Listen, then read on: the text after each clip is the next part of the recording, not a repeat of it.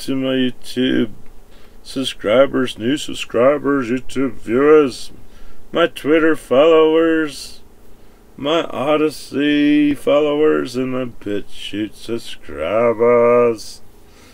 Ah, I woke up.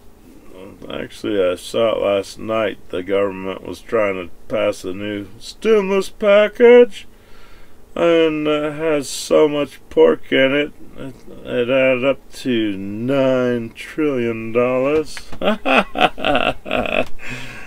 the package just gave American people six hundred dollars, and the rest goes to these pork belly fucking writers that are sucking my tax dollars and your tax dollars uh, away away from America to other fucking countries, to other fucking things not related to the COVID bullshit virus that people fucking recover from. Yeah, some people are dying, but if you look at the people that had died, they were about ready to die anyway. They had fucking other health issues like bad lungs maybe a bad heart, maybe just a fat fucker that was fucking not too healthy at the start.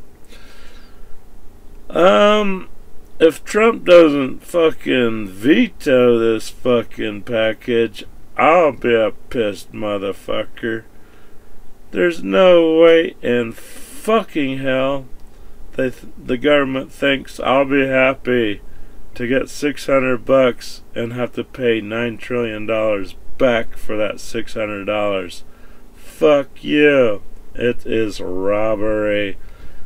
And it's all not on the republican side. It's the democrats that put the pork belly in this fucking package.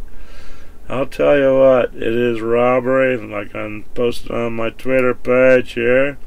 I'm surprised the commies haven't stomped me out on Twitter yet for posting so-called hate speech. No, it's it's fucking truth. It's not hate speech. It's just saying fuck you. And this is my other response. This is my response saying this is my gov government stimulus package to the Democrat fuckers just farting in their fucking face.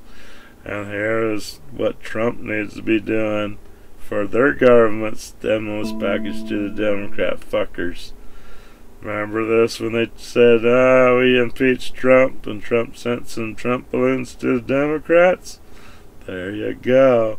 And then you can say, can you see the fuck you in my smile, Democrats? Fuck you. The bill is dead.